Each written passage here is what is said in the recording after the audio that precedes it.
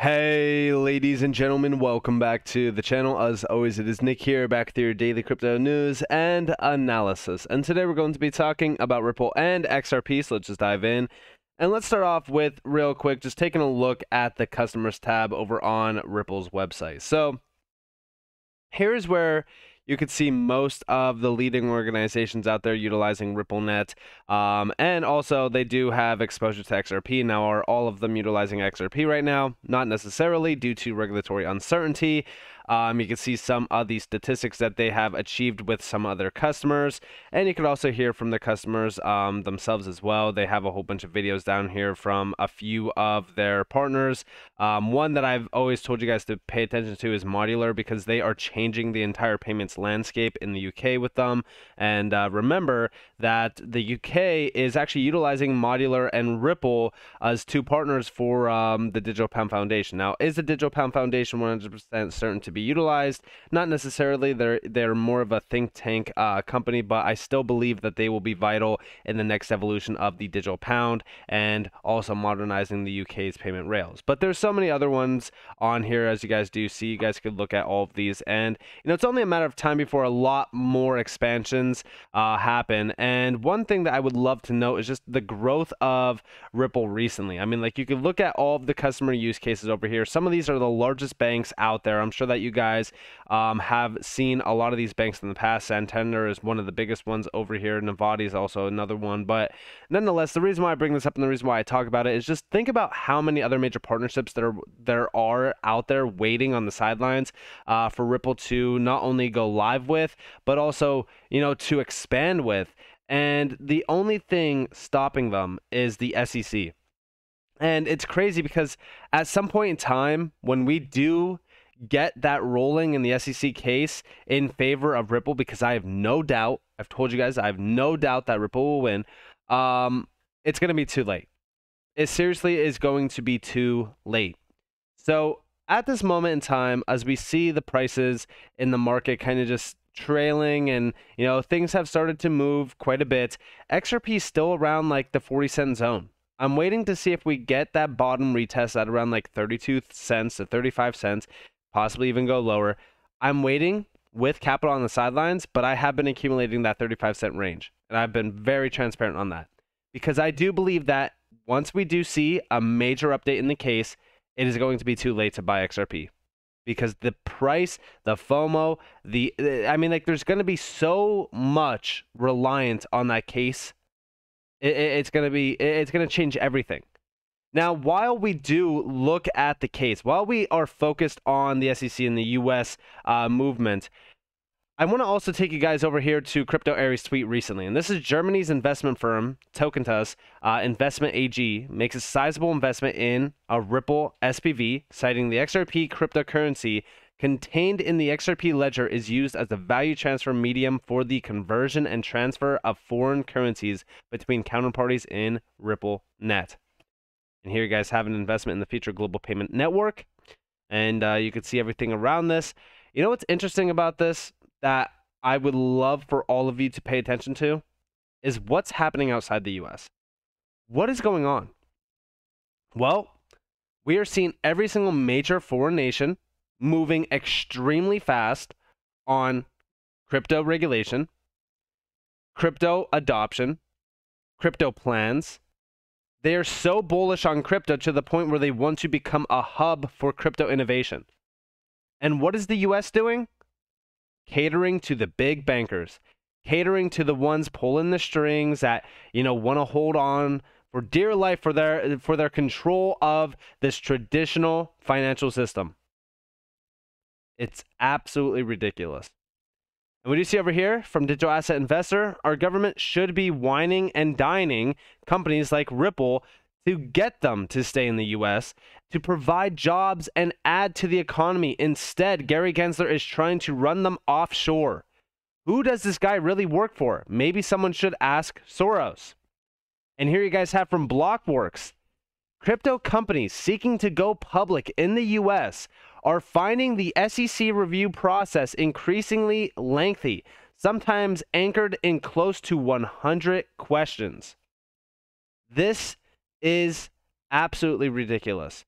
I'm telling you guys right now, as we focus on the bigger picture around what the SEC is doing, they are pushing out innovation, pushing out incredible opportunities in the US.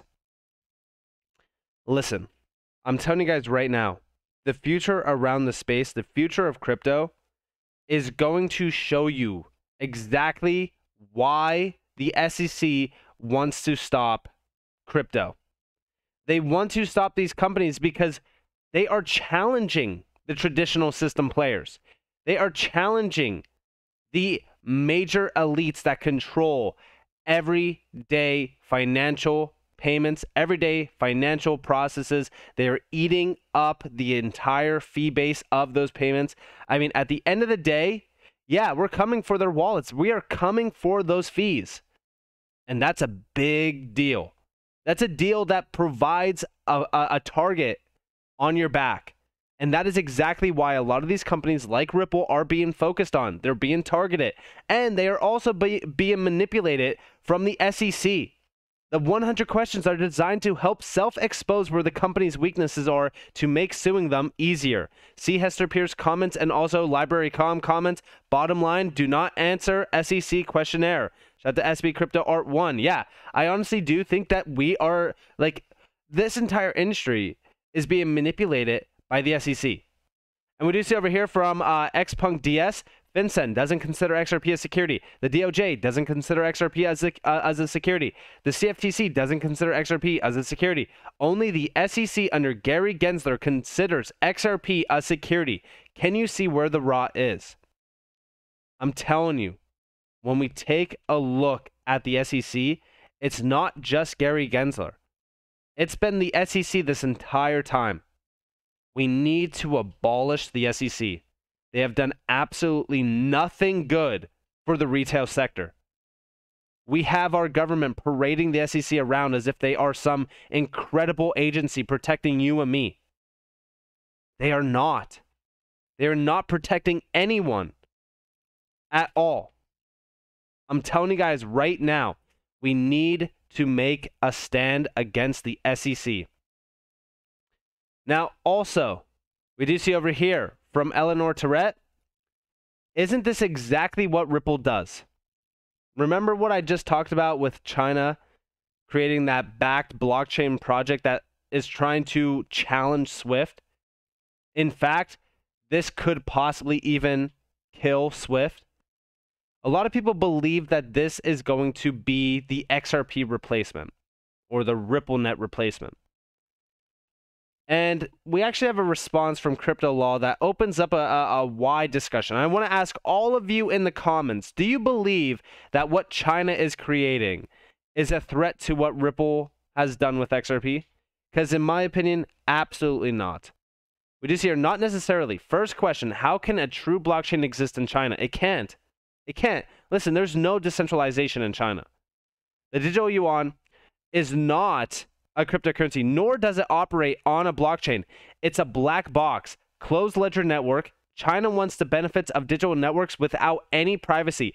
Any blockchain based service network will exist merely to ensure no actual blockchain technology can compete with the digital yuan and the networks being built to support it in China and the region.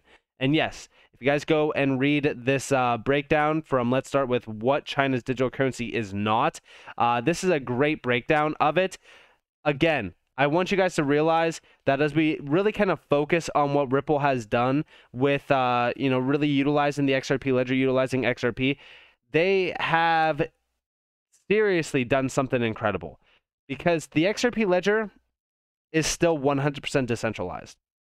RippleNet sourcing XRP for liquidity, for on demand liquidity, and also them utilizing XRP and building out a process where the XRP ledger could be utilized for CBDC issuance is huge. It's still 100% decentralized, 100% secure, and it is one of the most incredible ledger technologies that we have in the space. Yes, there's many, you know, efficient ledgers in the space. Uh, we talk about Hedera, we talk about Algorand. Uh, there's so many other ones as well Casper, XDC, XLM. Um, but at the end of the day, XRP, the XRP ledger, has had the longest runtime, the longest time for it to be proven in its area of expertise. And with that, I don't believe that this is going to replace XRP. I've been seeing a lot of uh, YouTube videos popping up saying XRP has been replaced or uh, was XRP just replaced? No, no. We, we we've seen this time and time again in the past too, going all the way back to like 2017, 2018, 2019, 2020, 2021. And we're still going to see it today. We're going to continue to see it because, again, there's going to be so many things like this being created. None of them are as efficient. None of them are on the same level as what Ripple has done with RippleNet with XRP. Now, also talking about the SEC, talking about things happening around the SEC, um, it looks like the SEC is now forcing individuals to fight back against Ripple. From James K. Filan, we do see investment banker Declarant files a response to Ripple's opposition to the motion by investment banker Declarant to shield from public view his name, position, and employer. It's absolutely incredible to see how despicable the SEC is. I'm telling you, they are forcing individuals now against their will to fight back against Ripple. This is absolutely disgusting from a government agency. Now, do you guys realize what is at stake here? We are seeing a government agency utilize their power, their position, to now force individuals into a position where they don't even want to be. This is disgusting to say the least. This is why we need to win. And in my opinion, listen, Ripple has been extremely confident since day one. Chris and Brad Garlinghouse had the option to settle separately. They are extremely confident. I have no doubt. I have no doubt at all. Listen, go look at the facts. The SEC is the only government agency that still believes that XRP is a security. The SEC is the only agency around the world that is fighting back against crypto as hard as they are. Every other nation trying to trying to find some sort of innovate, innovative way to put up guardrails so that they could utilize this technology. And in the US, the SEC doesn't even want to touch this technology.